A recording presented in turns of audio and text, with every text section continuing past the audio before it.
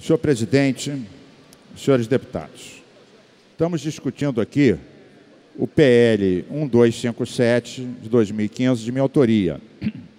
Institui programa de proximidade que visa dar acolhimento e atendimento às pessoas em estado de vulnerabilidade em situação de elevado risco de saúde. Bem, nós estamos falando basicamente de usuários de drogas. Nós sabemos que esse é um problema gravíssimo e que é um problema de saúde pública. Basicamente, é um problema de saúde pública. No Brasil, se trata esse problema como se fosse um assunto de polícia. Mas todos os resultados disso mostram que essa não é uma boa política. Isso tem que ser tratado com carinho, com atenção, com médicos, com técnico. Em suma, não é prendendo essas pessoas que alguma coisa vai se resolver. Hoje em dia, nós temos no Brasil uma política de drogas de 2008 que diz que os usuários não podem ser presos. No entanto, hoje em dia no Brasil nós temos 680 mil presos, sendo que um quarto desses 680 mil presos, ou seja, algo como 220 mil, são pessoas que basicamente são usuários ou pequenos fornecedores sem armas, em suma. Esse projeto, ele cria centros de acolhimento, centros de abrigo, pontos de contato, espaços de prevenção, equipes de rua, programas de assistência humanizada. Ah, esse nosso projeto tem 20 e não mais, tem 42 artigos. É claro que vários dos artigos tem problemas. O deputado Giulianelli fez duas emendas que eu concordei com as emendas do deputado Giulianelli, que aperfeiçoam o projeto. O deputado Márcio Pacheco, que vai falar a seguir, é uma pessoa gabaritada para falar desse assunto, porque ele se dedica a isso. Um dos seus focos é a questão humanitária, a questão da assistência social.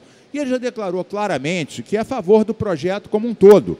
Discorda de um ou outro ponto do projeto, porque ele tem discordância com o que se convencionou chamar política de redução de danos, que é ir reduzindo, que é uma técnica usada. Por exemplo, a pessoa está viciada em cocaína, você cortar do dia para a noite, ela morre. Então substitui por metadona, substitui por outra coisa, até que a pessoa consegue se curar.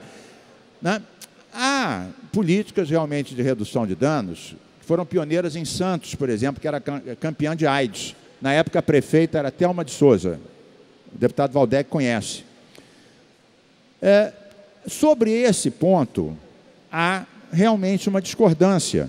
O deputado Márcio Pacheco vai, vai discorrer sobre ela de forma respeitosa, como sempre tratou os nossos projetos. Fazemos várias dobradinhas ecoespirituais dentro do maior respeito.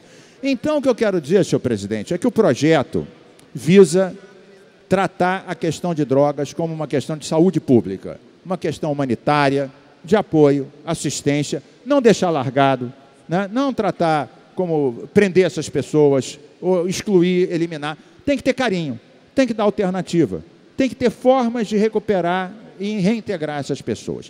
O projeto tem 42 artigos. Dois pontos, o deputado Julianelli já propôs modificar, eu já catei.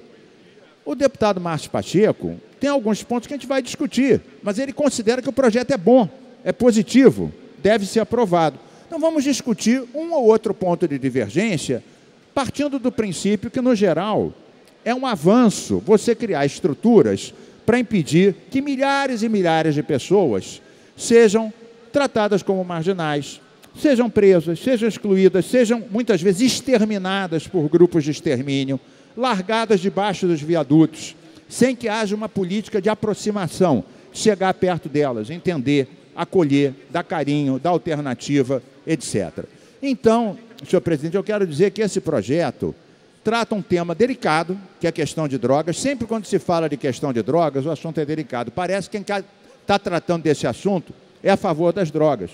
Ninguém pode ser a favor de droga nenhuma, nem as drogas legais, nem as ilegais. O que se trata é como fazer uma política eficiente. No Brasil, a política de drogas, deputado Luiz Paulo, Vossa Excelência sabe bem, é uma política altamente ineficiente. Aliás, no mundo inteiro, a política de guerra às drogas foi um fracasso retumbante. Se gastaram bilhões, bilhões e bilhões. Os traficantes são cada vez mais fortes.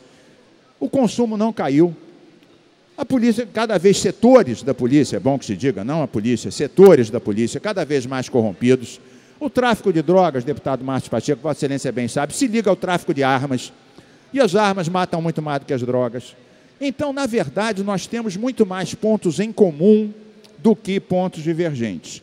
Então, vamos avançar nos pontos comuns, que é a prevenção, o carinho, o acolhimento, a política de vizinhança, e vamos discutir entre nós um ou outro dos 42 que possam ter divergência. Há uma divergência real, que é a política da redução de danos. O que, que se entende por política de redução de danos?